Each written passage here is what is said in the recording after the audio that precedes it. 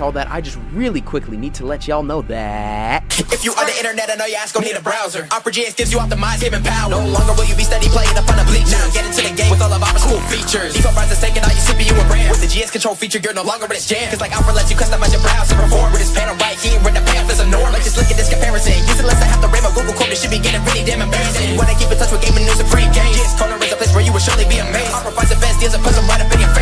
face. Like here, and that was just a little taste. Other browsers be so boring, yeah, they always leave me sore. But with Opera's brand new minds, I know that will be exploring. Like features, favorites, custom themes and colors. This is shit that makes this browser better than the others. Yeah, custom tab sounds, even put on your own music. Slide through your browser, I'ma tell you how to do it. Like, come on, let's get to it, man, it really ain't hard. Just go right to the Mods menu on the sidebar. Yeah, all these crazy browsers, that's not all you can get more. Just open up a tab and go right to the GX store. Yo